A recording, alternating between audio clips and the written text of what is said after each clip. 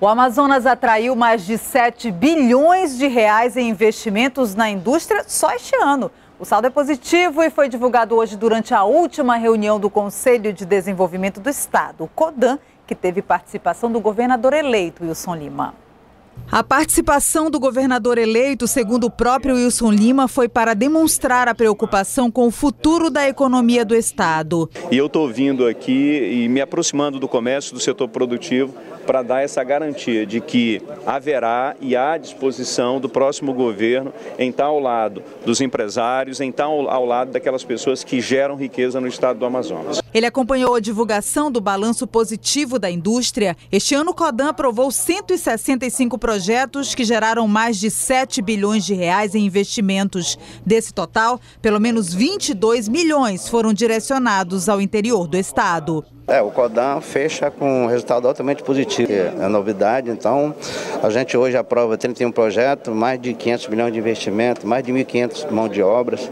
Isso é, é muito importante para o fortalecimento do nosso parque industrial. Pois é, e o Wilson Lima já está liberado pelo Tribunal Regional Eleitoral para ser diplomado na próxima segunda-feira. As contas de campanha dele, que haviam sido reprovadas pelo Ministério Público Eleitoral, foram aprovadas hoje pela maioria dos desembargadores do TRE. O julgamento durou cerca de uma hora e meia.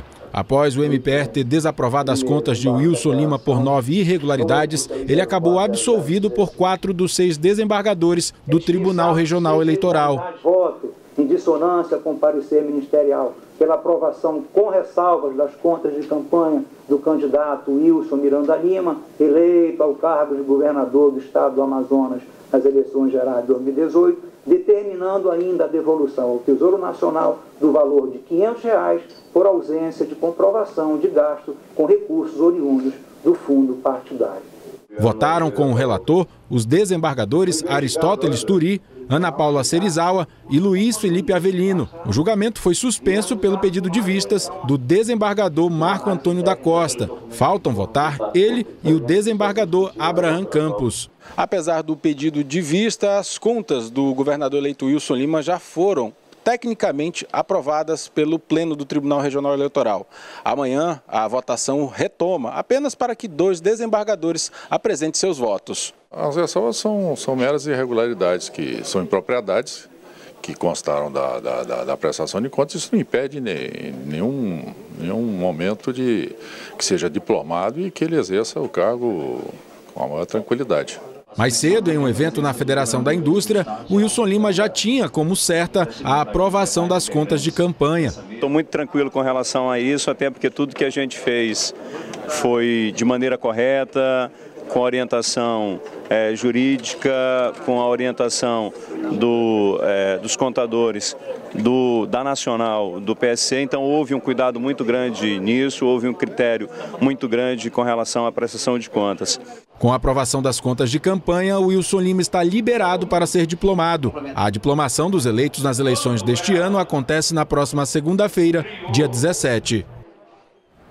A polícia investiga o sumiço de três computadores da Secretaria de Estado de Saúde durante essa transição entre o atual governo Amazonino Mendes e o futuro governo Wilson Lima. O Adriano traz os detalhes. É isso mesmo. O furto dos três computadores aconteceu no último dia 3 deste mês, conforme informações de servidores da Secretaria de Estado de Saúde. Segundo informações registradas em boletim de ocorrência no terceiro Distrito Integrado de Polícia, DIP, que atende a área onde fica a sede da Suzan, os três computadores, um notebook e também dois computadores de gabinete com CPU e monitor desapareceram por volta das 7 horas da manhã do dia 3 e o caso foi registrado logo no dia seguinte pelos servidores da Suzan.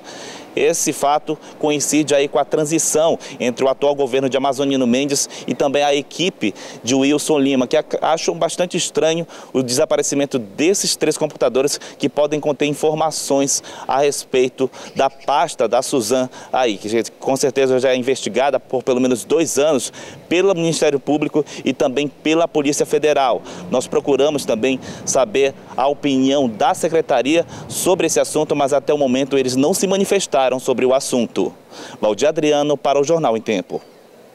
Obrigada, Valdir. Os últimos projetos desta legislatura estão sendo votados na Assembleia Legislativa aqui do Estado antes do recesso, que já começa na semana que vem. Na próxima quarta-feira está programada a votação da lei orçamentária para 2019. O plenário estava agitado. Este grupo da área de nutrição veio acompanhar de perto a votação de uma PEC com tramitação de urgência, que trata da inclusão de nutricionistas no quadro de profissionais das escolas estaduais. O projeto de autoria do deputado José Ricardo foi aprovado. Porque é fundamental o nutricionista nas escolas para garantir qualidade da alimentação, da merenda escolar e com isso a gente tem resultados melhores também nos indicadores da educação. O Conselho Estadual de Nutrição comemorou que é um marco para nós, né? É, é, um marco referencial. Que bom que os nossos políticos estão nos ouvindo. Na terça-feira da semana que vem serão votados todos os projetos pendentes. Para quarta-feira fica programada a votação da lei orçamentária para 2019. Nesses últimos dois dias foram aprovados mais de 40 projetos. Nós temos ainda uma demanda de aproximadamente 30 projetos que serão analisados na terça-feira, os projetos de autoria dos deputados. E na quarta-feira nós estaremos votando as matérias do Poder Executivo, como a lei orçamentária anual, a lei principal que é votada no segundo segundo semestre na Assembleia, matérias do Ministério Público, matérias do Tribunal de Contas e assim vamos finalizar o nosso ano legislativo limpando a pauta de votação da Assembleia. Entre os projetos aprovados está o do deputado Sinésio Campos, criando o Distrito Naval e melhorias econômicas para a região metropolitana de Manaus. Que na verdade nós temos na frente da nossa hora da cidade de Manaus são estaleiros. Nós temos o segundo maior polo naval do Brasil, abaixo somente do Rio de Janeiro, mas sem nenhum ordenamento. Então o que nós estamos propondo é exatamente fazer com que as políticas públicas sejam focadas principalmente trazendo prefeituras, a governança, né, para discutir o que queremos para o nosso Estado.